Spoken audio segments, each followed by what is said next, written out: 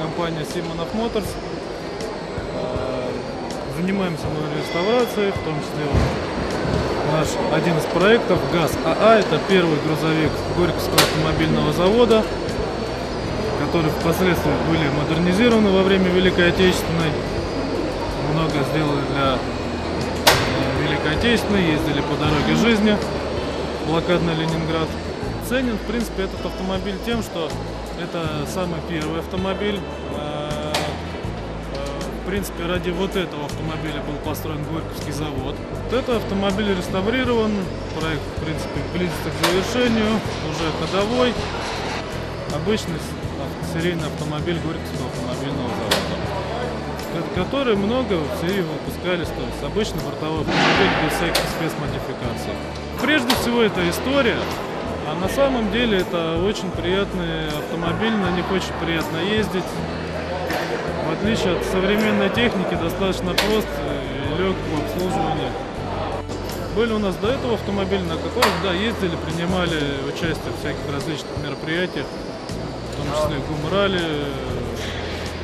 всякие разные реконструкции. Очень много где принимаем участие активно.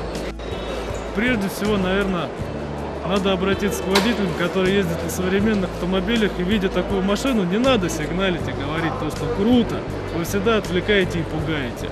А ощущение, ну немножко сложно его, конечно, водить, потому что никаких сверх э, комфортных и, и тому подобное вещей здесь нету, поэтому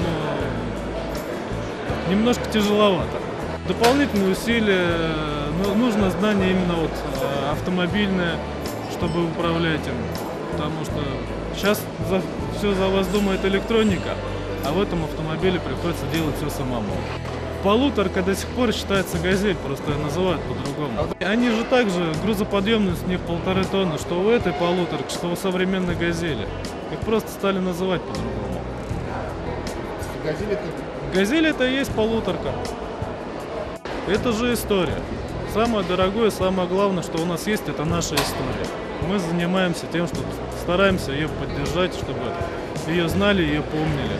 Ищутся чертежи, ищутся всякие разные э, документация. И по ней, в принципе, все создается. Есть где-то какие-то элементы, которые э, более-менее сохранены, они просто восстанавливаются. Так создаются автомобили. О полуторках тяжело говорить, но их, в принципе, достаточное количество есть, потому что их выпускали очень долго по, по времени. Плюс у них разные мо- модификации. И после войны еще продолжили выпускать полуторки. Поэтому они достаточное количество в стране у нашей есть.